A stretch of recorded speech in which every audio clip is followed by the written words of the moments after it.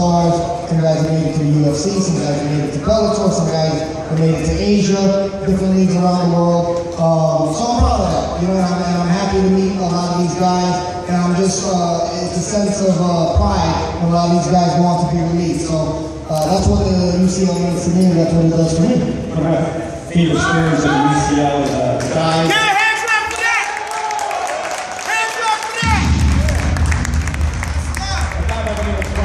Edgar had his first fight here, became UFC champion, beat BJ Penn, one of the legends of mixed martial arts.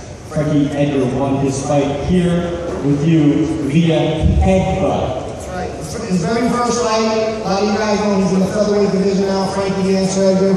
Uh, his trainer's actually right there, he's trainer. And um, he's, uh, and he went on to win the UFC title. He had his very first MMA fight, uh, no rules, no sanctions, he, my league, uh, six years ago. And uh, when he got on top of the ring, he decided to do a headbutt. And uh, he went on uh, Fox show and he was telling that story and everybody thought it was crazy uh, for people to compete in the event like that. He went on to uh, win the world title and be one of the legends. Well, here he is, his 11th year, 50th show, and I just want to talk to Jim Genia. If Jim Genia is around, Jim Genia, please come up to the ring. Jim, Jim been covering Underground Combat League, wrote a book called Raw Combat. How far has the sport come since you started covering it? It's like night and day. Uh, how it was in 2003 compared to how it is now. What are the differences? Well, people can know about this show now. Back in 2003, it was just Peter's friends. You know, it is a misnomer because I always like to tell my friends that Peter Storm runs an illegal fight. But that's a misnomer, isn't it? And tell us why. Well, New York state law is like a real fucked up thing, and uh, there's loopholes. And Peter ha runs an amateur league, doesn't violate any of the laws, and his show has always been legal. That doesn't mean the, the athletic commission hasn't wanted to shut him down. So he's had to do what he had to do to survive. And have you survived Peter Storm? So far, so good. 11 years counting. Uh, let's see if we can do 11 more.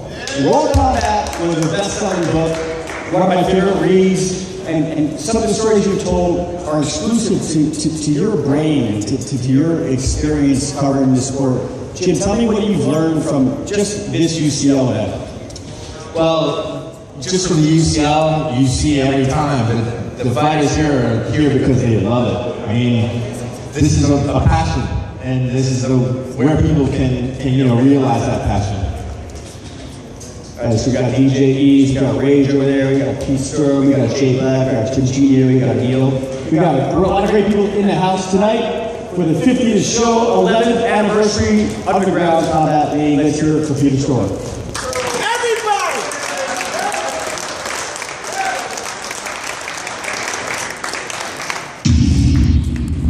Up next,